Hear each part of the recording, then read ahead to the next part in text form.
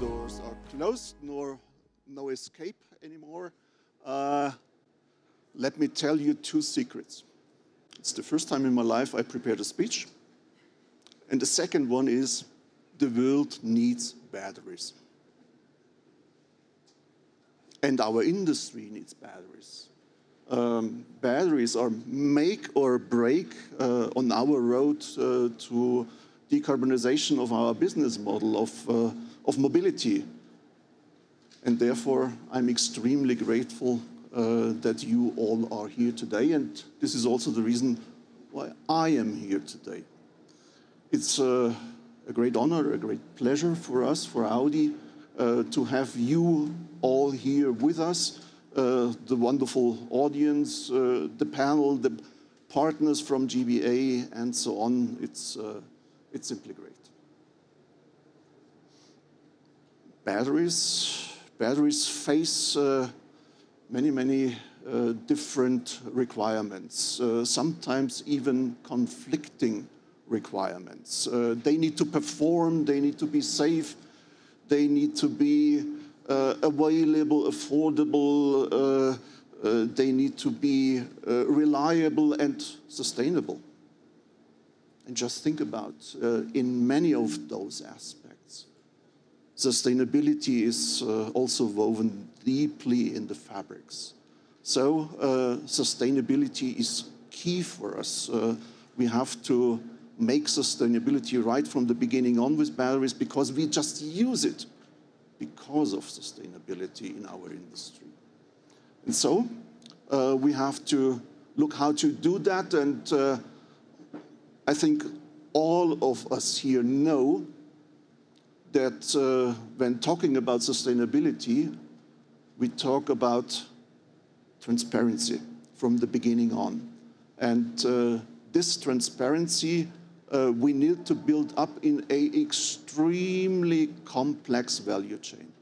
And uh, doing this, we need clear goals, clear rules, clear uh, processes, uh, systems behind, and this is what GBA is doing uh, for the whole uh, community of uh, battery manufacturers, of all those raw material folks uh, involved in the business, and us downstream, who are the economic operator bringing the, the product to the market. Um, the battery passport will show the sustainability performance as of the moment, but also will identify future hotspots or white spots and uh, will help to, uh, to do the abatements there. Abatements in an efficient but also effective way. So therefore, we need this battery passport. It will also be a very important enabler for circular economy.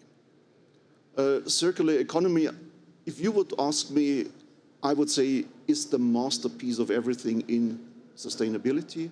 Uh, once we can uh, uh create a real working circular economy, uh, we will automatically solve other problems of sustainability as well. And so therefore, um, uh, the, the, the, passport uh, carrying all this lifetime information will help to, for example, raise the residual value of a used battery or can steer a used battery to the right second or third uh, usage application and even down the road uh, to full recycling. So uh, battery passport is important in many, many ways. Um, the new upcoming European battery regulation As in Article 65.5 one nice sentence which says, all information and data included in the product passport shall be based on open standards developed with an interoperable format, and so on. Remember, open standard, interoperable. This is exactly what GBA is doing. Uh, this means uh, battery passport is built on this uh, on these requirements, and we can see the first parts of this battery passport here today in this proof of concept. And I'm really, really happy that we made this pass. It wasn't an easy one. It was hard work, but finally we did it.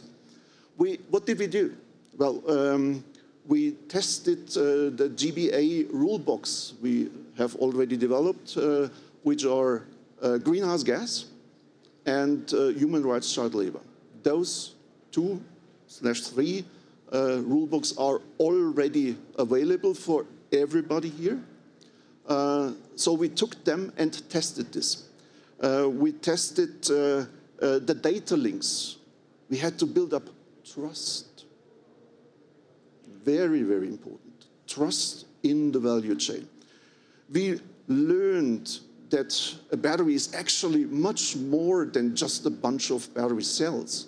No, there are complex boundaries. Uh, there are uh, even uneven boundaries uh, for, this, uh, for these batteries.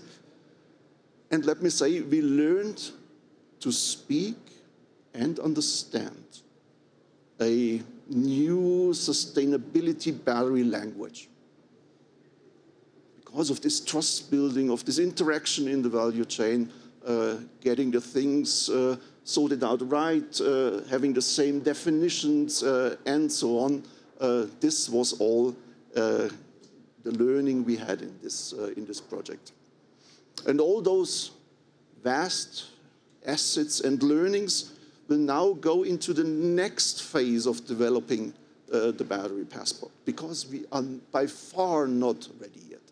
Uh, there are so many puzzle pieces uh, necessary to get the full picture of a fully functional uh, battery passport. And uh, so there is work ahead, uh, but my feeling is we are somehow in the ramp up curve now. Uh, uh, people have been attracted. They have to. Uh, they had uh, their, their their interfaces, uh, and so we have now uh, all the, the foundation, let's say, for this future upcoming work, and and also the regulators. They really push hard and help by doing so that speed gets into the overall undertaking. So I want to say a big big thank you uh, to all our colleagues, uh, to the partners uh, we had from around the world. Uh, we had a fantastic collaboration set up in a perfect pre-competitive environment. So uh, this was another uh, aspect for being successful in the end and showing, being able to show what we have today. Coming to my end here, I have one promise and one wish for you. The promise is um, we will do our very best to make this battery passport as user friendly as possible. Doing this, uh, we, we reuse uh, whatever is already available, available uh, be it standards, be it procedures, be it norms, uh, uh, be it definitions, whatever. Whatever is available is uh, proven, is uh, useful. This we put into our battery passport uh, to avoid double work, to create, to get cross recognition, and so on. And uh, we team up with corresponding initiatives, uh, like, for example, Catena X will be very, very um, uh, important in terms of uh, IT technology for us. CIRPASS, uh, you might have heard about this uh, European project running, or the German Batteriepass consortium. All those we work extremely tight together to get things right in a smooth way. And my wish is that we all have our sights on one common goal to make the battery passport a real shared global standard. Because having uh, many, many standards around, uh, many different uh, languages to speak, many different uh, um, legislations. That would be a horrible uh, thing for us, uh, for the whole industry, and therefore, this is my hope, and therefore, also I just can say GBA is important, and uh, Inga, I think that's the right time for this wonderful panel. Thank you so much, Josef. Um, and thanks everybody for joining us here. My name is Inga Petersen. I'm the Executive Director of the Global Battery Alliance.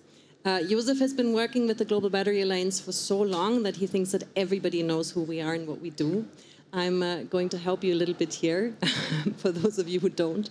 Um, so the Global Battery Alliance was, was founded in 2017 here at the World Economic Forum, really in the realization of how critical batteries are going to be for the green transition.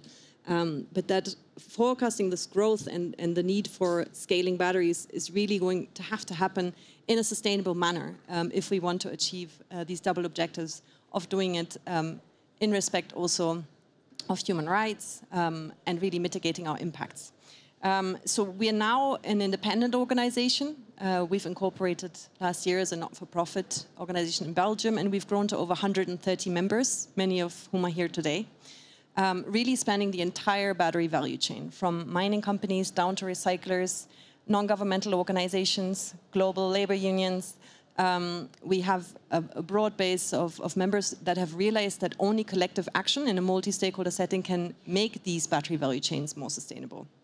So today, we would like to introduce you to this tool that uh, we really consider a critical instrument to help us um, facilitate this transition. And I'm joined here today, and it's my great um, privilege to, to, introduce you to our panel. So we have Benedikt Sobotka, CEO of the Eurasian Resources Group and a founding member of the GBA, um, a first hour advocate. uh, same for um, Mathias Miedreich, CEO of Umicore, and also a founding member of the GBA. And Minister Fitzgibbons um, from Quebec, Minister of the Economy for Quebec, um, who are also staunch supporters of the battery passport concept. They're represented both on the board of directors of the GBA and also on the steering committee for the global battery passport. So today we'd like to look a little bit at the key challenges that we're facing currently um, in battery value chains and then look at how the battery passport may help us resolve some of that. Um, we have a bit of a truncated value chain here. We'll, uh, we might refer back to the audience um, to help us with some of the gaps, but I'd like to start in the upstream. Uh, Benedikt, just on Monday, we co-published a study with McKinsey um, where we revisited our original vision report and found that um, the growth forecast for batteries is even more staggering than previously anticipated, um, up to 30% annual growth between now and 2030. We also learned about the tremendous opportunities of making this growth more sustainable that there could be potential emissions reductions of up to 90% um, within battery value chains and battery production. So all of this has cast a sudden spotlight um, on the upstream, on the mining sector. Do we have enough minerals to feed this demand, to feed these forecasts? In your experience, what are some of the most common challenges that we're facing um, at the starting point of our value chain? Well, uh, thank you, Inga. This is uh, personally for me an exciting moment because I still remember how um, four or five like-minded individuals sat down at the end of 2016. I think that time we were thought uh, to be crazy to come up with something that is now today the Global Battery Alliance. And we're around a coffee table, tells you something about the magic of Davos. Four or five people around the table can create something that is now becoming an industry standard.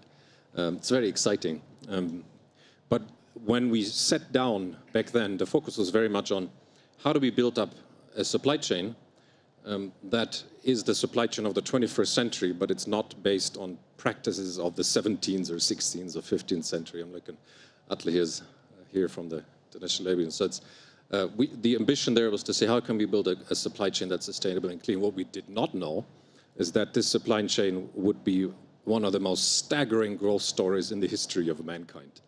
I mean, in 2016, um, if you look at just electric, electric vehicles, in 2016, in all of 2016, the same amount of cars, electric vehicles, were sold than are sold today in one day. Just to give you an, give you an idea of the, the order of magnitude what we're looking at. Now, the mining industry, and uh, we're, we're a, a, big mining company with about 100,000 people. Uh, we, own, we operate the largest uh, single industrial scale cobalt operation. Um, for us to double production is something you would do typically over 10 years if you're good and if you're lucky. Now, today, we're supposed to add 20, 30, 40% of production every year. This has never been done before in history. Uh, and it's not a question of money, right? There's a lot of money in the industry. There's a lot of capital that's looking to be deployed. Um, the, the, challenges are licensing. The challenges are community interaction. The, the challenges are uh, complicated jurisdictions. Because today, um, most of the large mining companies, they operate in, in, in jurisdictions like Canada, like Australia, um, some of the very safe jurisdictions, South, uh, South America. But the future minerals that we have to build up as part of the supply chain, they're going to be in more complicated jurisdictions that may not have the same framework to operate safely and sustainably, that may have significant political and uh, expropriation and country risk. And as an industry, we have to deal with that. At the same time, we're getting pushed by customers, give us a sustainable production. So we don't lower our standards whether we operate in Central Africa or in Central Asia or in Central America, we use the same global standards, and the, the, major mining companies they, they pride themselves of using those global standards. But of course, if you push the supply chain very hard, you, you do get bad behavior. And we see that today. We see it in some of the products, um, whether it's in cobalt, in lithium, in, in nickel. Um, you push the supply chain too hard, you get bad behavior. So one of the objectives that I've been, we've been so supportive of the, the GBA from the beginning is, is you need a level playing field. If we want to expand the supply chain, we have to have the same rules. And the best way to enforce rules is using a stick and a carrot. Uh, the carrot, we all know the business is growing. It's the biggest purchase order in history for our industry. But you need a bit of stick as well. And the best stick you can get is transparency, right? Because if you give consumers a choice, what are they actually going to buy? What's the greenhouse gas emission footprint? Have you violated human rights in your production process? If you can make that transparency, you give a lot of power to consumers because consumers have a choice. Six years ago, when we started the GBA, consumers had no choice because they wouldn't know. They wouldn't know where the product came from. They wouldn't know where it was refined, how it was refined. Was it using hydroelectric electricity? Was it using coal-fired power? Um, there was no transparency. So what I think we've achieved here with this pilot um, is, is quite exceptional because for the first time, it will give end customers the ability to make a choice. And that's the best stick you can get to incentivize better behavior in what we think is going to be an incredibly incredible business opportunity for many of us here, and we have to make sure we do that in a sustainable fashion. Thanks, Benedikt. Um, moving down our value chain, um, the issue of material scarcity is on everybody's mind, the sustainability impacts of that production as well. Usually commentators rush to recycling and circularity as the key solutions um, to address these challenges. So I'd like to ask you, Mathias, what are the key challenges with that today and is that a feasible proposition? Yeah, I'm very uh, happy also as Benedikt to, uh, to speak on that occasion. So as already said, we are one step down the value chain. Umicore is uh, taking the minerals that come from mining and we are transforming them into active materials, what is called the cathode active materials and others. Besides that, also we are uh, in the area of circular economy already since 30 years. So that's at the heart of our uh, thinking. And uh, as usual, there are three things that uh, are currently um, limiting the ability to do a full-scale circular approach for those metals that are uh, not enough available or that have uh, not the right CO2 footprint. So the first one is technology. So if you look to um, uh, the recycling process of uh, lithium-ion batteries today, there is a certain yield that you can achieve, right? So you can recover nickel, cobalt, lithium, manganese, to a certain percentage of what you put in by injecting batteries in the process. Now, uh, we are not at the end of the road for that. There needs to be a lot of work and innovation put in place that the yield, sorry, that the yield is really high. So currently the biggest challenge is lithium because the recovery rates on, on nickel and cobalt are already well advanced in the high 90%. Uh, lithium, we are not there yet. So we are more in the 60, 70, 80%. So it would be even an economical uh, disaster if you have to throw away 30% of the lithium that you have, not to speak of uh, the CO2 footprint. That's the first one. The second one is a, is a regulatory topic. Um, and it's not so much the permitting uh, like we have in the mining side, it's more the supply chain and the logistic legislation. Today, when you dismantle a battery from a car, it turns from an automotive component to hazardous waste by legislation. And with that, to transport it, to, uh, to process it, to bring it forward is really uh, very, very difficult, if not impossible. And we're talking about quantities, even though the growth rates have been high, but they are not the quantities that we will see in the future. So the third topic, and I come back to that, and, and we heard that a couple of times uh, in the last two days, is the, the stick and the carrot approach. Because there is also a perception that recycled materials must be cheaper automatically, right? Because they're recycled. Uh, in fact, if you go through the complete value chain, that's not, uh, that's not the case. They are much more CO2 efficient, up to 90, 95% better in CO2, but sometimes more, uh, more expensive. So how do you bring that forward? So you can either say you put a stick because you are penalizing CO2 footprint, scope three footprint of products. So you, you would pay a penalty if you don't use those materials, so it's even cheaper to use them. Or you can use the carrot approach, which is currently the, the North American, the US approach with the IRA. You can um, uh, you know, give uh, subsidies and funding to the infrastructure, to the capex that is needed to do this uh, recycling. So what is, I, I even don't want to judge what is the better one. I think probably you need both of them. But if you bring those three elements together, technology, uh, it's legislation, uh, and the third one is uh, support business model, uh, pricing at the end of the day, that will truly make it successful. But still, we also don't have to dream that tomorrow we can uh, have a large quantity of recycled materials because the pipeline first has to, to fill it up.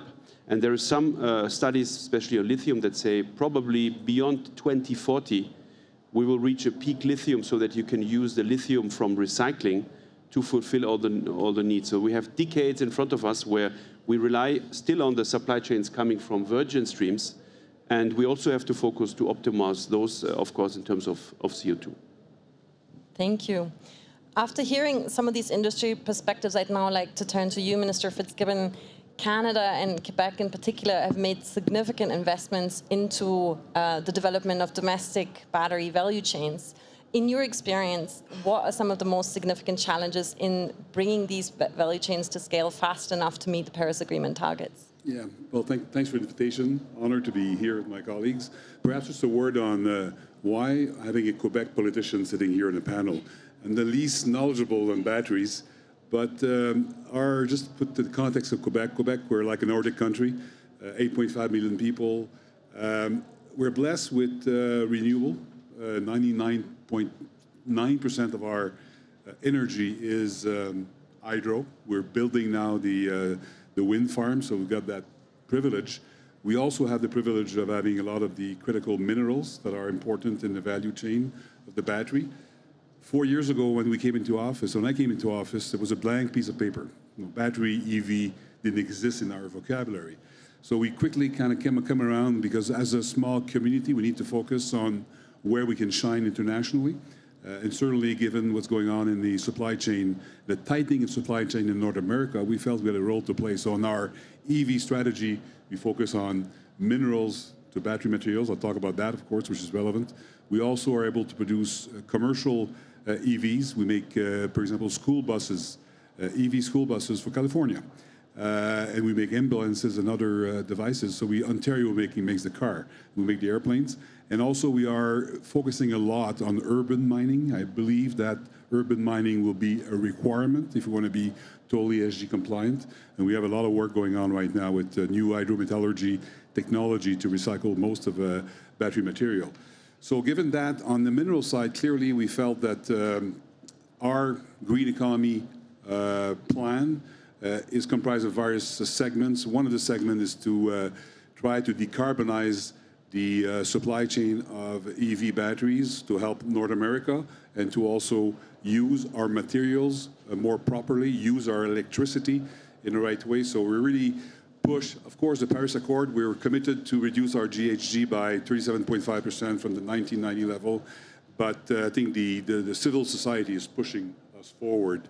And uh, we're really uh, accelerating the pace. The key challenge for uh, politicians is to have a business environment which is conducive for investment. So we need to look at the zoning, for example, how we convert our green zoning. A lot of agricultural uh, land in Quebec that we want to maintain. But when you dezone a land to make uh, something which will help the, uh, the value chain uh, on the EV side makes sense. So we are accelerating that the rezoning that sometime we need to do. Uh, the permitting, we need to also be um, be strong on that because it takes a long time. And uh, given the pace at which the industry is going, we need to show that uh, we respect, on the one end, the ESG rules. We want to be uh, uh, really responsive, but at the same time, we need to allow companies to come and, uh, and build uh, concerns here in Quebec. And, and last thing, also, we need to support the whole business environment and make sure that the people are are are, are convinced that we are kind of shovel ready. We have industrial park, for example, in Quebec, we have a park called uh, Bécancour Park where there's three municipalities. And four years ago, there was nothing there. Now we're talking about billions of dollars which will be invested in the next uh, four or five years. So I think our role as a government is to get the business platform conducive for investment, yet we need to be responsive because civil society is requiring us to be, to be responsive in terms of the ESG rules. And that's why the GBA allowed us to mix the two. We've got the ingredients. Let's make sure we got the traceability. We'll talk about that. And that, that's the role of the government. Maybe I can chip in for a second because it's always good to talk about how good you are yourself, right? But if external sources say that, uh, it's maybe even more proof. And I can fully confirm that uh, Quebec is uh, really benchmark for us, for the industry, in terms of uh, being uh, pro-minded for electrification and trying to reduce any hurdles possible to be fast, to be efficient, and uh, to have the full uh, uh, value chain in scope. So I, I, really congratulate you to what you have set up in that environment. Thank you. Um, one word that already keeps popping up in these conversations and as part of the solution is the term of transparency, because we really cannot manage or improve what we can't measure. So for this reason, and to be able to somehow quantify and assess sustainability impacts, uh, the GBA has, over the past two years, started developing an indicator framework um, against which these efforts can be assessed. Uh, we've developed a greenhouse gas rulebook, which was published in October, which really sets out a comprehensive set of rules on how to calculate the battery carbon footprint at each step of the value chain. We've also published in December child labor and human rights indices, um, which equally build on existing tools and framework like the ILO, UNICEF, etc., um, to showcase the pathways that companies need to take to really address the root causes of child labor um, and any potential human rights violations in their supply chains. Um, so transparency is key, but I would like to know, Mathias, maybe I'll direct this at you. Where do you see the key challenges with transparency? We've established a proof of concept now. Reporting against these indices from cradle to gate, from mine to market was a core component of this. Umicore participated also in this piloting work, uh, exercise. So I'd be interested if you can share some experiences. Absolutely. I think you, and you mentioned already earlier, a key word in that, it's, it's trust. So if you uh, want to be transparent, you have to be sure that what you give and, and you know what you open up to the outside world is not used against you in a certain way. So I think that's the first uh, uh precondition that uh, we establish a system or any kind of supply chain that is looking to transparency in CO2 and others.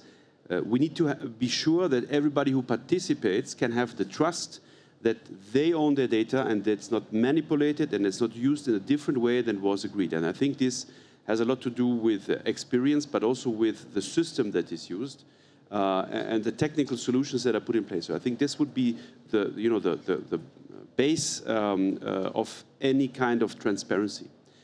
Now, on the other side, and I think there lies also a big challenge, if you want, going forward. The one thing is to put data in a system and trust that it's safe. The other question is, is the, the data that you put in the right data? So how can the other side be sure that the, the, the data that is in the system that talks about um, a CO2 footprint of uh, one ton of nickel that has been harvested from a mine is calculated correctly? Or is, um, uh, you know, uh, there's no mistake inside, or it has the right thing. So the whole uh, question of auditing that process or having a, you know, also a third-party assurance that the data is right in a most effective way so that both sides can basically trust the data. I think this is also the key. Uh, and, and uh, alongside um, the forum, this is actually you know, the, the battery supply chain is a pioneer in addressing that. But I'm, I'm just coming from another uh, discussion about, in general, scope three um, decarbonization. That is a huge issue for all of the different supply chains. How to, uh, you know, go back down to, to the farmer who is planting uh, uh, uh seeds and the CO2 impact. I think what the GBA has put in place is really benchmark in that aspect, in all of the aspects where other value streams can really also still learn from. Thank you. Um, Benedikt, this morning you sat in a press conference together with co-founding member BASF and Ellen MacArthur and proudly announced that we've issued the world's first battery passport this morning. Um, so we've heard this concept many times, but I'm wondering if it's worth explaining in a little bit more detail how it actually works um, and what some of the key first learnings were that we took away um, from this proof of concept. Yeah, thanks. Um, it's, it's incredibly exciting. What I did this morning, I, I put up this little sticker here and I said, when you've looked carefully some of the electric vehicles driving around in Davos, you're going to see a little sticker at the back of this. Right? And if you scan this code, a website opens up, which is a virtual twin of the battery that's in that car. So every single battery in a car in future, we believe is going to have a single identifiable number, which will allow to trace back where the battery has been assembled, what are the technical specification of that battery, where the minerals that are in that battery have been refined, and where they have been produced and by whom. And that unique battery identifier number will allow you then to track that battery through the life cycle of this battery in the car. And um, when you when you go and scan this, and I recommend you, I think some of you, most of you actually have got one, some of your seat. It's it's pretty exciting. You open it up, and it shows you literally this cobalt unit came from this mine, right? And that's the producer. And by the way, here's the phone number if you want to call and see and check it out if it's true. Right? The same for, for, for lithium, you can do the same for nickel. So it's, um, it is a digital twin that will allow traceability for all of us. Right? So it's not something that's hidden in an industry body that is trying to make something a secret. No, it is transparent, publicly available information, and that's very powerful. Um, somebody said yesterday said partnership is the new leadership. And the only reason why we could pull the battery passport together is because we had a collaborative engagement across the value chain. Now, usually, this panel here, we wouldn't actually speak to each other a lot. We'd have a mining industry, and you would have a battery making industry, and so on. This is the power of the GBA. We actually go across industry, so along the entire supply chain, so everyone contributes data that is then made publicly available. You have civil society that helps us put together the rule books that are then mutually acceptable and not industry standards, because industry standards are always a challenge, right? This is a, a standard that is actually carried by a broad base of like-minded organizations, individuals, and, uh, and partners. So again, the power of, of the battery passport is first, it works, right? It's probably the first digital twin of a battery that has been put together by anyone. I mean, it's, it's really exciting.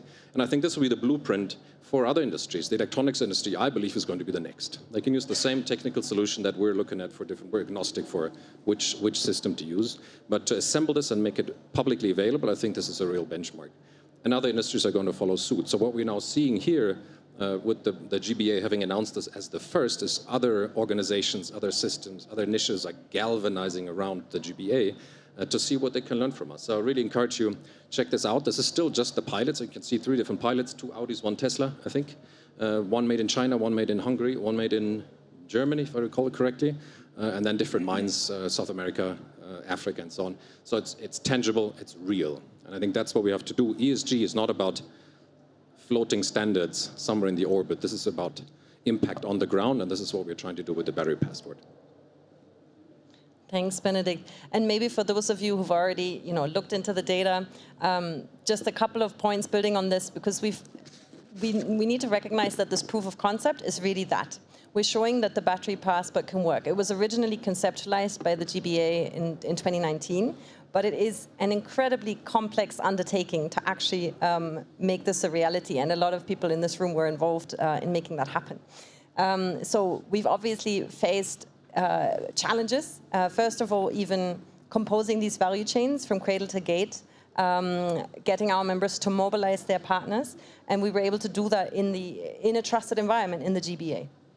Um, one of the key um, elements that we have here is, is the global outlook, that we do not want to create a compliance instrument for a specific region, for a specific regulation, but really to say how can we turn the vision of the GBA um, and transfer this into an indicator framework that operationalizes this vision? How do, how do we actually achieve it through the actions that we take?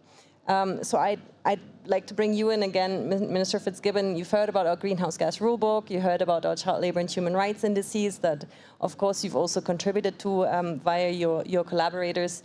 How important is it to have globally harmonized standards in this industry?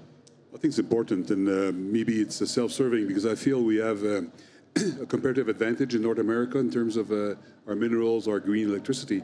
But notwithstanding that, I think we're part of Scope 3, and we're the early part of the uh, EV uh, battery supply chain.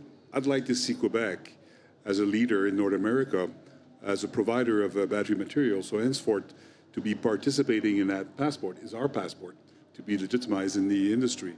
We've actually, uh, when you when you approached us, uh, we felt that it's pretty much a EU uh, endeavor right now, but clearly I think it'll become worldwide, and we'd like to be leading that path forward for North American uh, different concerns, different uh, communities.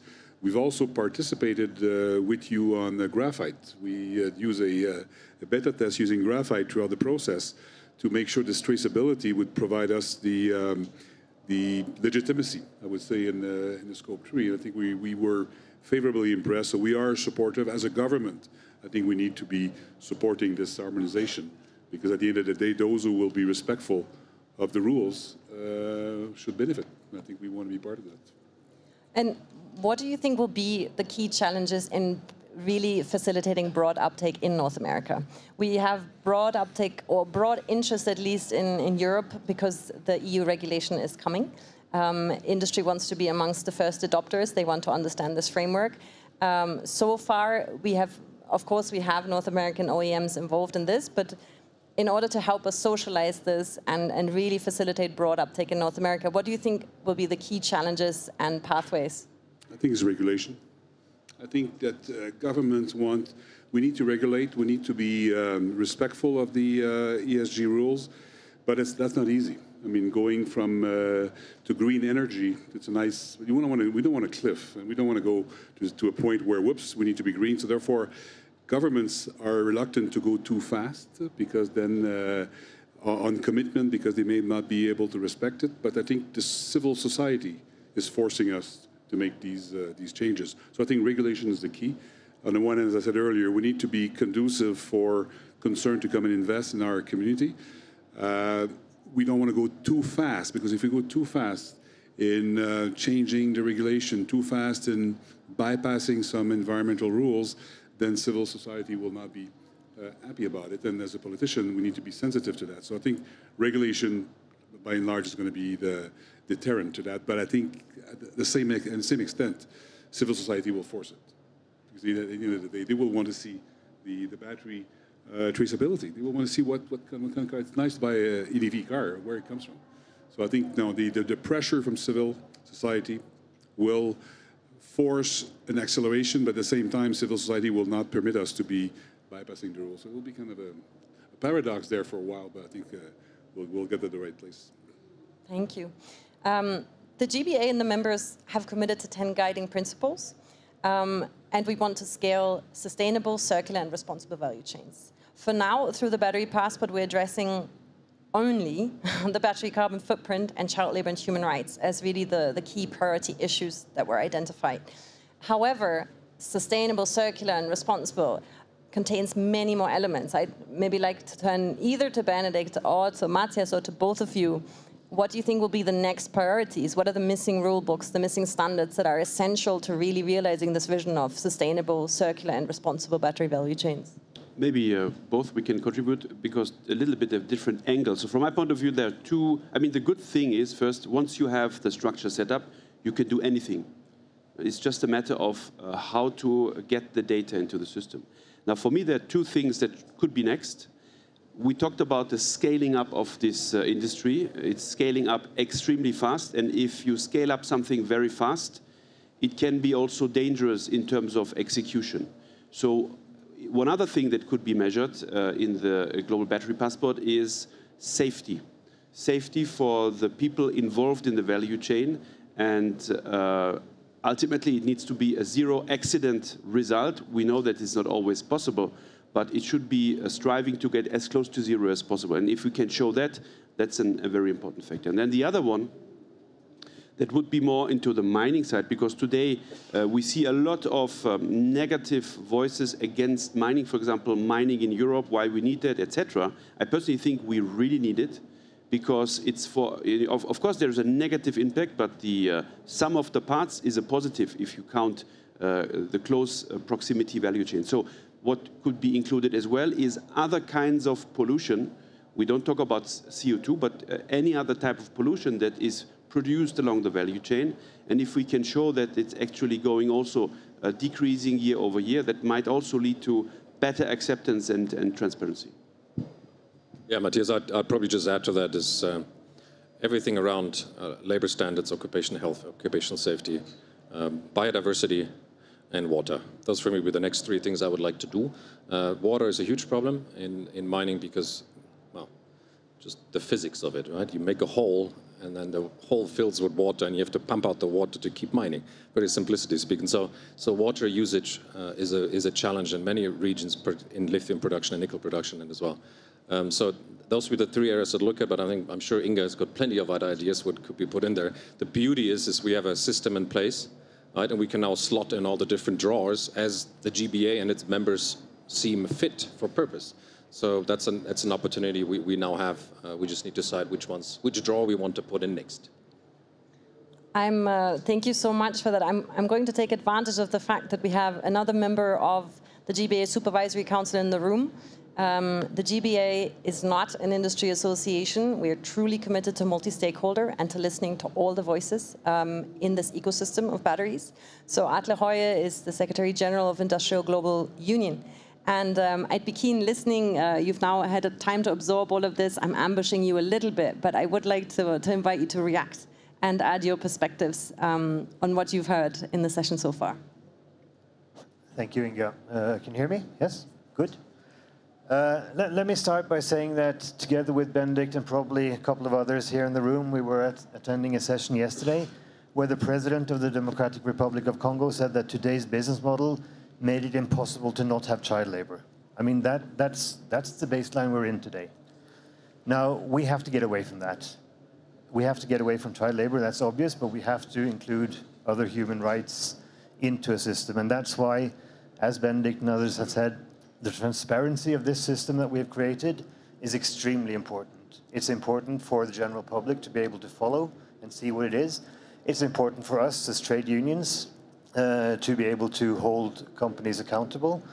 And that's why it's extremely important for us that you have chosen to include trade unions directly from the beginning of this process, because what we very often see is that initiatives, governments, businesses would want to hold, keep trade unions away until they can't do it anymore. And then you've lost a couple of years on the way to creating a system that actually works. Because, as I've said a couple of times during this, uh, this week, you can have a solution that is technically, technologically beautiful. It's politically viable, you think, but if those are going to do the work, enforce or implement the solutions, don't understand them, don't agree, or just don't want to do it, then you don't get a fully fledged solution. So having including, included trade unions in this process having an open dialogue with us, creating the transparency of the system that the Global Battery Alliance has done, I think are the keys to success, and that's why we really have faith in this uh, in this process. Thank you so much. I um, I'd now like to open up the floor actually for questions. I see there's already some coming. Excuse me. Um, uh, please. Thank you. My name is Philippe Monnier. I represent different organizations from Switzerland. I have a question regarding whether you are working with the United Nations. I understand that you are based in Geneva, and in Geneva there is UNECE, and they have a working party called Working Party 20, 29, where they define the regulation for the automotive industry. Even though it is called UNECE, United Economic Commission for Europe, the members are worldwide, uh, Japan, uh, China, um, and I understand they have enormous influence on, on the rules of the regulation of the automotive industry because all their members have to apply what they decide. Yes, thank you for that question. We are indeed working with a number of UN organizations. UNICEF, UN Environment Programme are all members of the alliance. Um, and so are UNECE. They've been involved in this first version of our greenhouse gas rulebook, for example. So one thing to note on these indices um, is that we've published a first iteration. The next step is going to be broad-based multi-stakeholder consultation on this, uh, including alignment with other frameworks that are being put forward. Um, we do believe that we've put forward very strong proposals that are not the result of industry um, consultation only, but really uh, include this multiplicity of voices. So we are going into that next phase. We'll be strategically um, consulting with um, other standard setters uh, in the sector um, to really try and harmonize um, the indices being put forward and the standards. One, one aspect, if I may add, uh, that I find very important, um, the GBA has to have a certain representativity of its industry and of the landscape. I mean, this is not a European organization trying to lecture other countries how to work, um, and is not a US organization. This is really trying to represent the world in the energy storage space. And we have to be cognizant that the majority of the batteries today are made in Asia. Um, the main commodities today, lithium, essentially 80% comes from two countries. Uh, cobalt essentially comes from one country. Um, and you can do that for, for other products than nickel, for example, three countries, probably 70% of world production. So uh, you have to have certain representativity, um, and that includes particularly some of our Asian members. Uh, we cannot, um, we have an obligation to talk with the battery industry and not about the battery industry. And I think we've, we've been reasonably successful. Um, CATL has just joined us as, uh, as, a, as, my, my co-chair. Um, they are the world's largest battery maker. Um, so we have to be inclusive, uh, then we can be effective. Yes, I see the right hand going up, I think, on that mention. Hi, my name is... Oh, yeah, my name is Forrest. I'm from CATL. Yeah, um, yeah, I'm, I'm very glad to join this session. My question is how you get data, how you collect data from the supply chain. Actually, it's a very uh, hot topic in our company. We're trying to do this by ourselves, but it's hard to get the right data in the right time. So that's my question. Would one of you like to take this? Should I venture a response? Well, I can only talk to the upstreamers, and the upstream is surprisingly simple um, because there are actually not so many producers and producing countries of these minerals. Um, of course, you have to make sure you, you, you cannot cover the whole industry immediately, um, and that's why we've, in these pilots, focused on certain supply chains where you can actually delineate what's in and what's out. I think the bigger challenge is in the what I what we call the midstream, which are the cool guys, right? Not not us is, is what happens in the midstream as these sources of supply from different countries, different operators get blended into one midstream refinery. That's where the challenge, from my opinion, is. The upstream is, is relatively easy, it's transparent. You can look on Google, Google Earth where the mines are, you can, you can go and visit them. It's actually pretty simple. So the question is more to you in the midstream. Yeah, and for us, uh, the actual, we are not adding to the equation uh, as you could think, because midstream, what is means making uh, cathode materials uh, mostly, um, is already today uh, a net zero operation because it's mainly driven by uh, electric energy. And you know, we and all of our, most of our competitors are going in the direction of having that you know, covered with renewable energies. However, the big issue is exactly as you said, how to blend the data together because you have different sources that have uh, different footprints. And then you can more and more have recycling streams also coming in that have to be treated differently from uh, a CO2 load point of view. There are rules already defined how that works and what should be accounted when.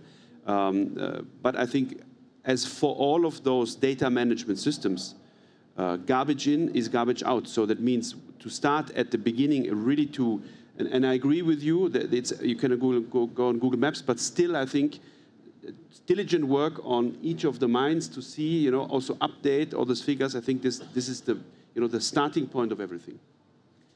Yeah, and perhaps from the regulator perspective, in Quebec, we have a lot of mining and some of the critical elements.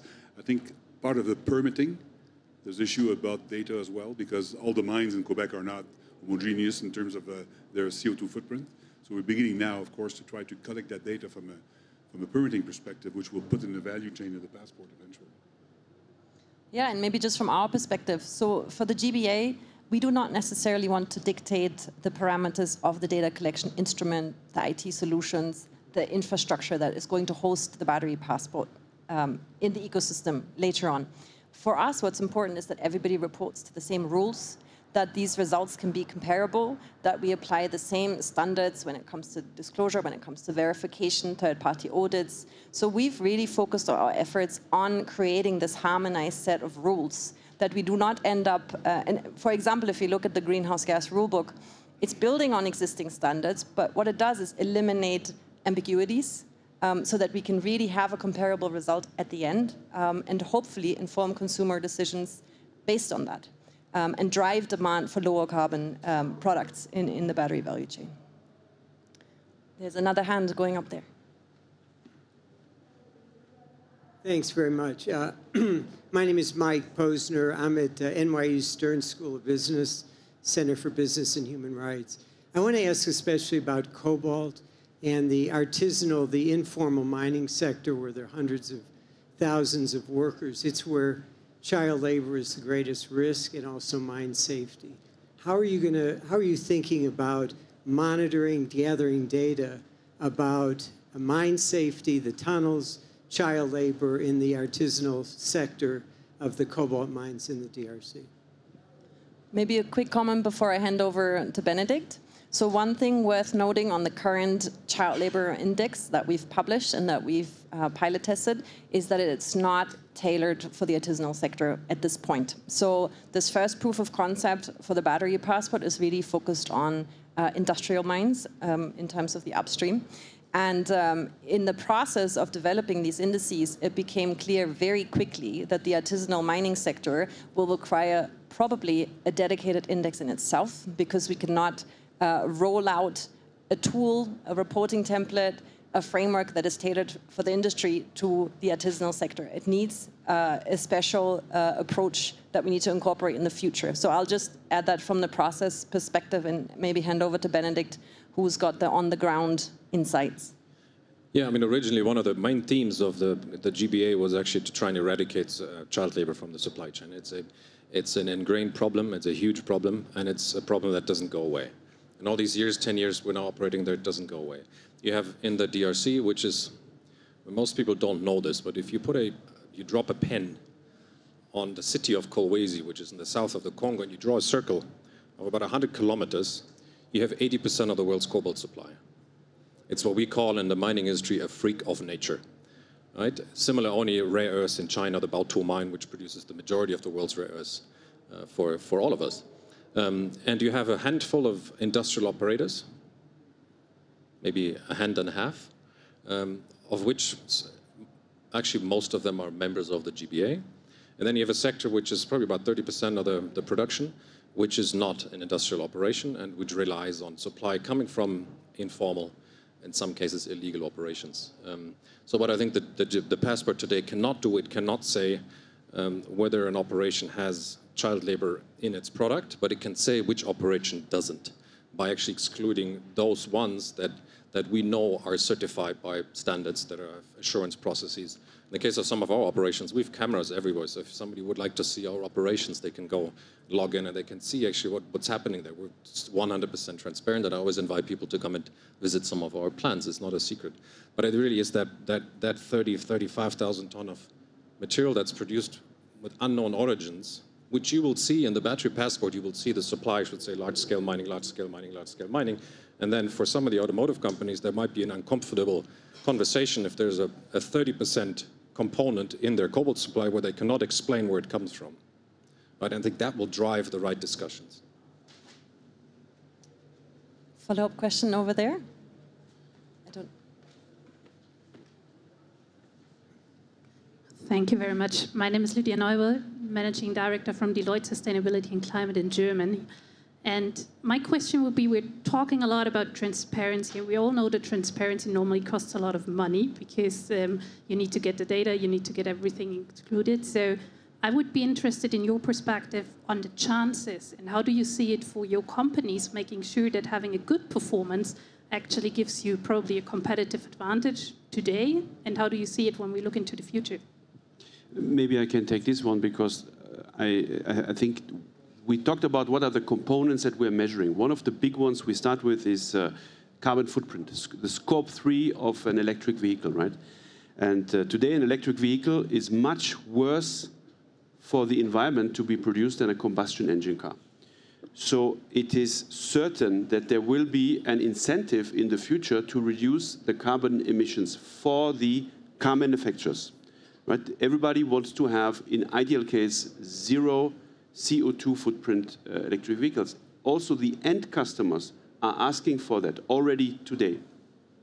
So then there comes the legislative that says um, uh, the scope three, today scope one and scope two, is, if you want, punished uh, by penalties. Scope three will be part of that. I am 100% sure about it.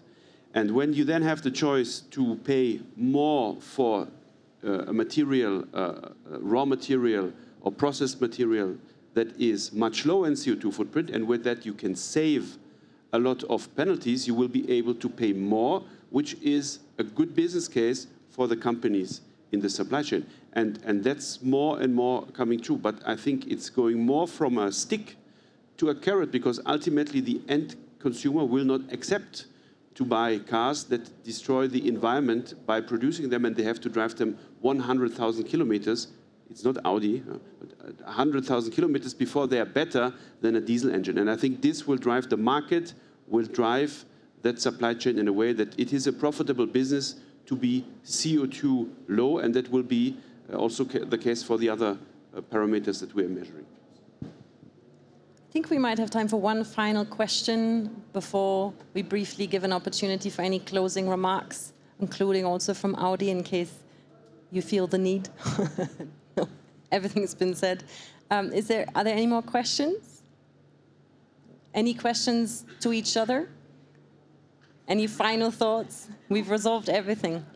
Um, fantastic. I really, um, really appreciate uh, the interest that you show on this topic. I think it's, it's become clear that this represents a major milestone of what we've achieved. It's also worth pointing out, I think when you're looking at the data, you, you might have a couple of questions. What does safeguarded mean? Um, what does you know, review and process mean? So essentially, what we've established um, is a comparable indicator already, but it's based on partial reporting, and we did not want to encourage any premature comparisons of products that should not be compared at this stage to really not disincentivize um, our pioneers, you know, from the next round of pilots as we're as they're testing the waters of this concept. Um, what's also really worth uh, highlighting is that and Joseph can, uh, can attest that maybe from Audi's perspective, that the, even though we're at the proof of concept stage, we're already having an impact because participating OEMs learned for the first time the exact mine sites that they're sourcing their cobalt from. So this immediately triggered due diligence processes um, that are already um, establishing has this material been responsibly sourced, etc. Um, we also, these proof of concept pilots, we've worked with uh, three battery cell producers. CATL is in the room. We've also worked with Samsung and LG Energy Solution. That represents over 50% of the global battery market. So for us, this is a really strong signal and gives us a lot of confidence that we can make this the norm. Um, that we're getting the buy-in and this is not going to be a nice to have, but really a must have uh, to differentiate on, on sustainability performance. Um, so with that, I'd sincerely like to um, thank our speakers, our hosts, our impromptu speakers that joined us for the session. And, um, and I'll close with the plea to join us on this journey.